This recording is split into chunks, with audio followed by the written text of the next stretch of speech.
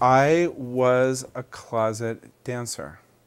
I always wanted to dance, and even like when I did it socially and at nightclubs and stuff, because of my body size and because I had so much unexpressed motion and passion, I would find myself hiding behind a pillar at the club, or you know, if there was a bar where I could not be seen.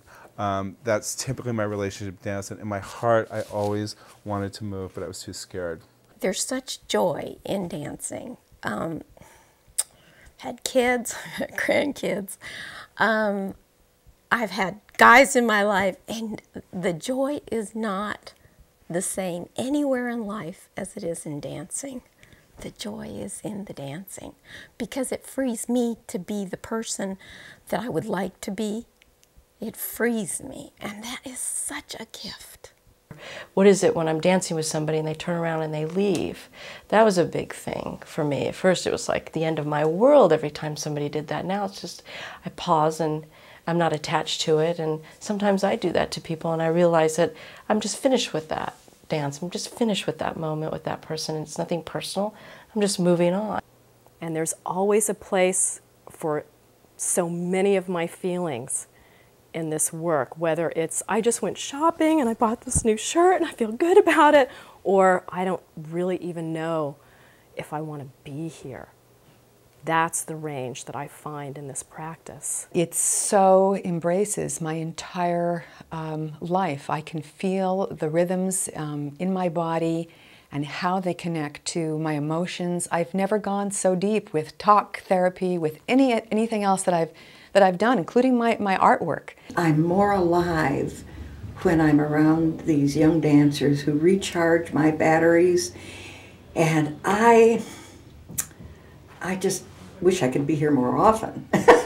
um, I feel like it's peeling layers off of who I am and bringing me closer to where I want to go. It keeps me willing to stay in my body, keeps me grounded. I found in the rhythms I could do it my own way, but I was guided.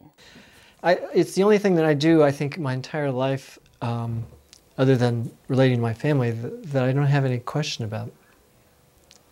That it just speaks to me and, and I don't have to think, why am I here? Even though I do sometimes think that, but, and that's amazing to me. For years of watching and participating and being a student of the Five Rhythms, I could see so many of my own life stories come up through the dance and other people's and so many dynamics happening in and between uh, the groups because in the Five Rhythms we, we have quite big groups and lots of men, lots of women and amazing dynamics are happening all the time. And so that's, that's the place where I felt like my, uh, my therapy training came in where I thought, I really want to find a way to help articulate some of these stories in the dance to bring the skills and the uh, resources that we get from the five rhythm dancing to a therapeutic process. So I invited a group of people who dance the five rhythms regularly who were willing to risk going a little deeper with themselves and with each other using dance and movement in the open floor process.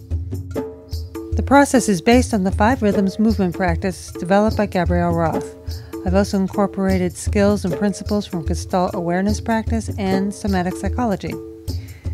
Five Rhythms provides a language we can use to express ourselves clearly through movement while at the same time it grounds us in a practice and a community that can help us integrate insights learned from the open floor.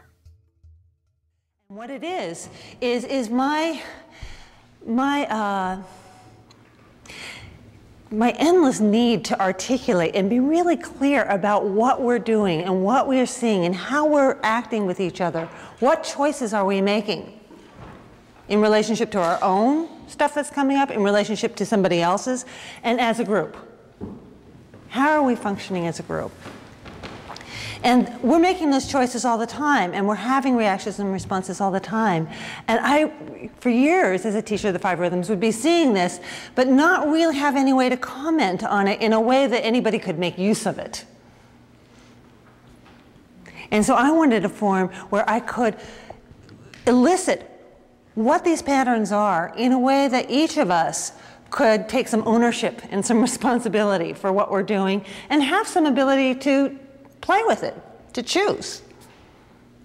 Add new patterns, mess around with old patterns, borrow a pattern or two.